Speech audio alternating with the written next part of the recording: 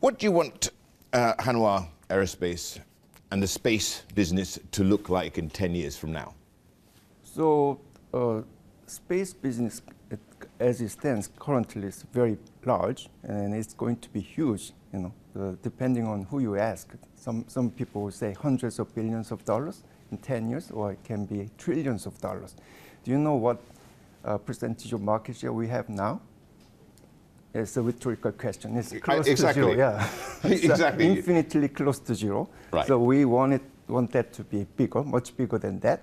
We have built a, a solid foundation in key areas of space sector, like uh, space uh, rocket business and communication satellite, communi uh, satellite antenna, and Earth observation. So we intend to grow each business to become a, a leading company in e each respective sector, and also obviously we are we will keep looking for opportunities. The industry is evolving and is in the early stage of the evolution uh, in the, the new era of space.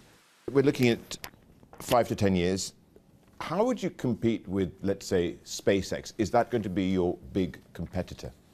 We will be initially a niche player, you know. So we, are, we don't expect to catch up right away, even in 10 years. So yeah. the SpaceX, will, I, I believe, will remain a leader, the leader, you know, for the time being, and then we will, be the not leader for the time being. Okay. Then, but eventually, we'll be, they're, they're not going to keep, you know, growing or improving uh, at the current pace.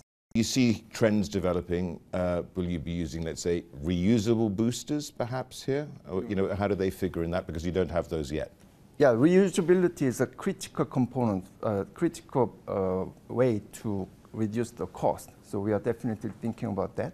So maybe the next generation may not have the capability, but the, the, the next one after that should must have that.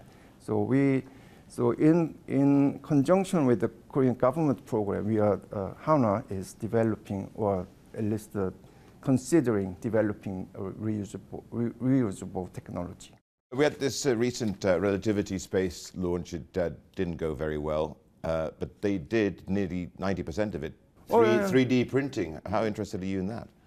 Very much interested. We are actually looking closely at the company. I so, Dongwan, how much would this technology bring down your costs? That's the key part of this. The, the additive manufacturing part? The 3D printing oh, yeah. and the like. So, but it is a combination of the technology and scale. So it, the, the combine the two, uh, maybe 10 to 20% every year maybe it's too aggressive, but yeah, 10 to 20. So eventually we, will, we have to bring it down to the SpaceX level.